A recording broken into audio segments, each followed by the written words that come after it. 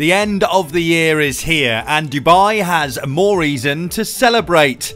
That's because Euromonitor have announced the best city destinations in the world, and the final standings are in, which sees Dubai ranked second in the list. Tourism, sustainability, economic growth, and safety are all taken into account to rank each city around the world, and Dubai has scored superbly across all factors. Dubai was only beaten by the French capital Paris in the list, with Madrid, Tokyo, and Amsterdam making up the top five.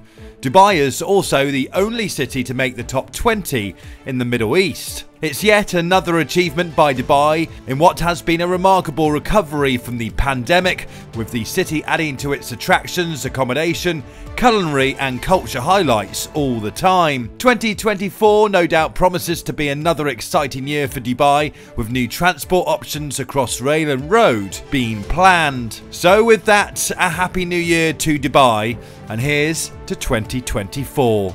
Thanks for watching this UAE TV video. Don't forget to subscribe and like the video if you have enjoyed watching. You can watch our next story right here, right now.